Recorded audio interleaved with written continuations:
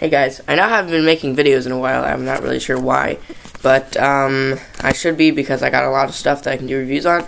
But this is one of them, and if you guys have noticed, I have a 1080p camera now, and not 720p. But uh, it's actually just a BlackBerry tablet taping this, but it's got an amazing camera 1080p. So I'm gonna start doing these.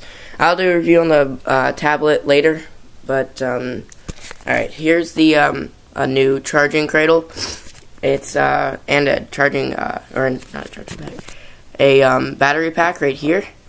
Um, and this is for the 3DS. Uh, and I already have everything out of the box and already attached to my 3DS. But uh, here's the box. Uh, the side just says Nintendo 3DS, and Nyko's who made it. On the back, just says stuff about it. And on the side tells you what's included. Alright, well, let's get that out of the way. And um, here is the um, charging dock. Uh, it's pretty cool. It's, uh, it's actually really cool. Um, it's got rubber on the back to keep it from sliding. Uh, two lights on each side to tell you that it's charging. Uh, power button right there. And um, these things to to charge it. But people were saying this wasn't working very well, and it, it was for a little bit, but now now you gotta put it in like a weird position on it, and it should work. But I mean, the first day it was working. And then here is the um, battery pack on a Nintendo 3DS.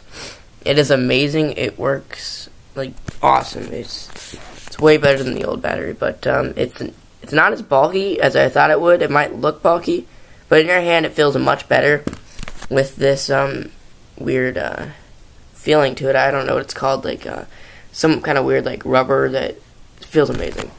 And it gives you a better grip. Uh, but it, wait, if it does charge, this is what would charge it onto these prongs right here.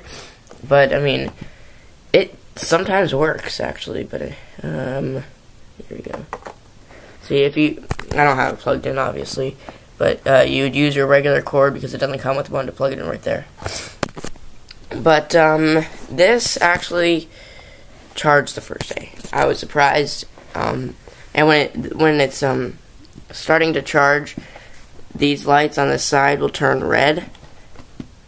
Yeah, and then um, this one on top will turn red. But then when it's done charging, it will turn green. So that's pretty cool. Um, but this is awesome. I'm just gonna keep it anyways because I got it for Christmas, so I didn't buy it. But um, here's the button. It sounds pretty cool. Clicks. Okay. Anyways, um, so I'm gonna keep it. I'm not gonna take it back and just buy the battery pack for nine dollars. I think this is like twenty dollars or something. But I just love the look of it. So I will plug the um, charger out to the back of the 3DS and just set it on there. The lights won't turn on, but I mean, it looks amazing. I think looks really cool. But yeah, pretty neat. Um, so I should have some more reviews uh, coming up soon. But um, and for the when I do a review for the tablet, I'm gonna have to use my old camera, which is not bad, 720.